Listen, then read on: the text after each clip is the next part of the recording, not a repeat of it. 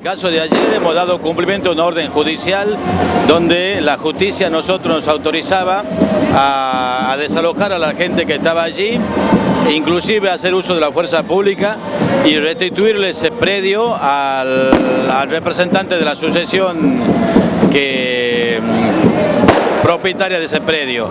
Eh, aparte a esta gente nosotros hace 10 días atrás le hemos notificado de que tenían 3 días de plazo para desalojarlo y este, no dieron cumplimiento, se lo esperó prácticamente 10 días y bueno, ayer hemos dado cumplimiento de orden judicial porque tampoco nosotros podemos incurrir, digamos, en, en falta que después la justicia puede tomar medidas en contra de la policía por no dar cumplimiento a un orden judicial.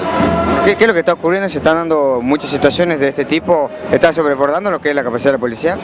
No, no, yo pienso que estas cosas se dan porque estamos prácticamente en un mes de elecciones y generalmente las usurpaciones, si ustedes hacen memoria hacia atrás cuando hay elecciones, siempre ocurren, ocurren este tipo de intentos de usurpaciones, como intentaron este viernes, este fin de semana pasado, ingresar a los predios de Campo Norte.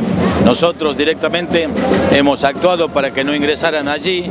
Eh, ustedes saben que el predio de Campo Norte es bastante extenso y permitir que, se, que lo usurpen ese predio iba a ser después este, bastante complicado para desalojarlo.